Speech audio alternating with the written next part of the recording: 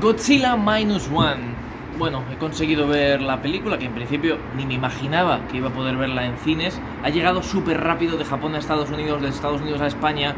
En fin, ha sido una cosa muy extraña. No había ni sesiones dobladas, lo cual agradezco, pero es muy raro que llegue una peli sin doblar. Han tenido una prisa impresionante.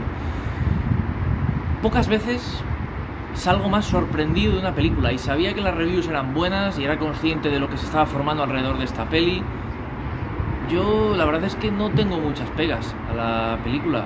Con lo que ha costado, que esta es otra historia que ya ampliaré en la crítica sosegada de la película, pero con lo que ha costado es, es prácticamente imposible de creer que esta película se haya producido.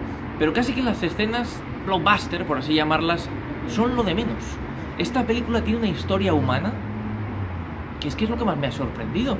Cómo la sitúan en una eh, realidad, vamos a decir, que bueno, que es real, ¿no? La Segunda Guerra Mundial, después, justo al final, Japón destruido, eh, una cosa dramática, una cosa deprimente, un personaje afectado por, por una tragedia o por varias de, la, de, la, guerra, de los bombardeos atómicos y demás.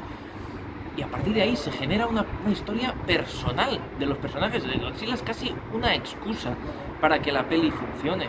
Y luego, por supuesto, sí, las escenas de destrucción, las dos o tres buenas que tiene, son increíbles, con un presupuesto tan bajo.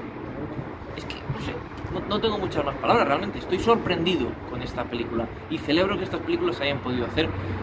Estos blockbusters, insisto, que es que con este presupuesto me, da esta vergüenza llamarla superproducción.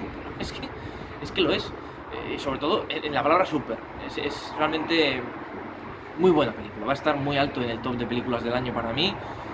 Y bueno, insisto, muy sorprendido. La palabra es sorpresa. Yo ya sabía que iba a estar bien porque las críticas eran buenas, pero al final una película de Godzilla, ¿no? Eh, ¿Cuántas hay? Yo las he visto todas, pero el 95% se me han olvidado por completo.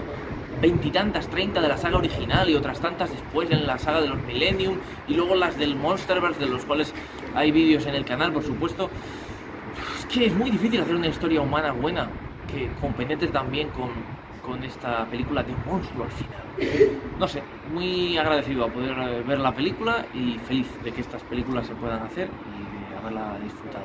Y os la recomiendo mucho. Si tenéis la oportunidad, que va a ser difícil porque no hay muchas sesiones y demás, pero si tenéis la oportunidad y llega a vuestra ciudad y podéis echarle un vistazo, desde luego que no lo vais a, lamentar.